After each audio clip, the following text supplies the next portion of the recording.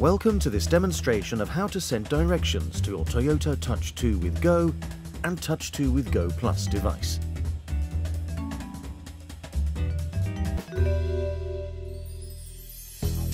First, you'll need to log into the Toyota Customer Portal. Just type in the URL and you're ready to get started. Once you're logged in, click on My Trips. Now click on Create Trip.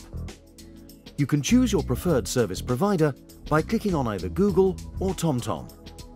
We're going to search for a pizza restaurant in our destination city.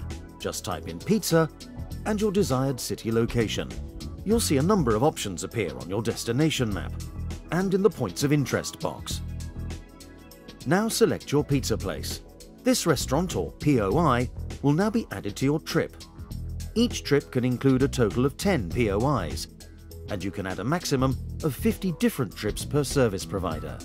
If you want, you can repeat the search and look for a different POI, which can then be added to the trip.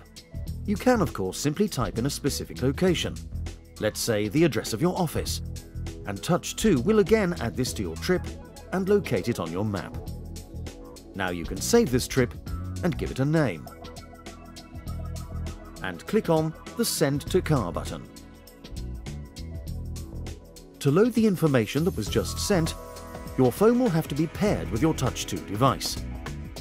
Please watch our online film, How to Pair Your Phone for Calls, Music and Internet, for more information.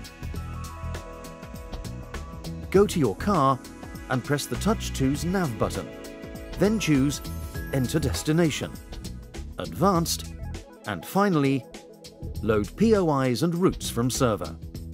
Your trip is now loaded on your device and ready to go. If you prefer, you can also transfer your trips to your car's Touch 2 device via a USB stick.